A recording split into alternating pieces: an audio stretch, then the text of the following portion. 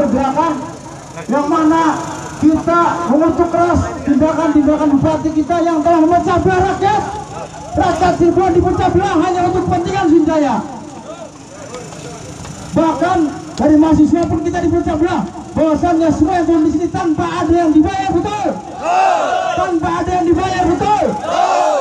Mari kita bersama-sama mengatakan bahwasanya Sunjaya adalah musuh kita bersama. Orang-orang koruptor adalah musuh Muhammad Osama.